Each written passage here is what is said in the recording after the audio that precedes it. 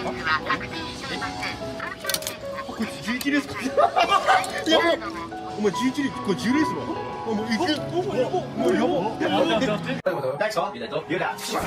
勝負今日僕は3万ぐらい回収して1万円山田さんに返しましたあと4万円足りないですわそれをこのね今日残りの池1万円で残りの4万を返したいと思います小池さん私はですねこちらは私と小林さんが協力して行く時に言っていたはい1あの1万円だけ僕たちにくれるということでああはい、こちらをかけさせてもらいました個人的には合計では1100円です申し訳ございません最初の冒頭で7万って大口立ててしまってますがそんなにかけておりませんなので今回ちょっとしかかけてないです。だけっすよ。じゃあ見して。3万3もうブラマジャガール書いたよこの買った金で買うのがいいんだよ。そうさ発表してください。僕は借金以外にも年金も踏み倒しておるんですよ。これで買って年金3年分ぐらいもう一気に払っちゃおうかな。佐賀を代表する選手が出てるん。だよね5号艇まあまず応援船券として次もあ400円5号艇がねあの佐賀の選手なんでなるほどねはい、はい、次ドーン4にはですね22倍ついておりました。当たった人手挙げて、はい、やばい手が上がらん。あそれ上がらない。当た当たってないんでね。当たってないんですよ僕。ということで勝負のレースに行きます。これが武者ぶりってやつか。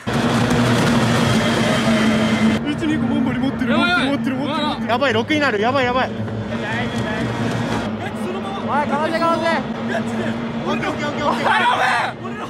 あと一瞬やばいあ静岡取っちゃう早く待ってくれえちょっと待ってみんな持ってるオッケーオッケーオッケーオッケーみんな持ってるみんな持ってるみんなで笑一万ボレ危ないオッケーオッケー今日でも買っとるよまあまあまあまあまあまあまあまあまあ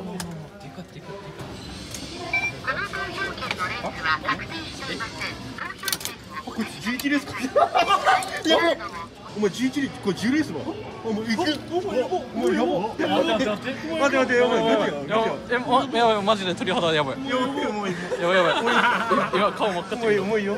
えマジでやばい。えマジでやばい。えマジでえマジでやばい。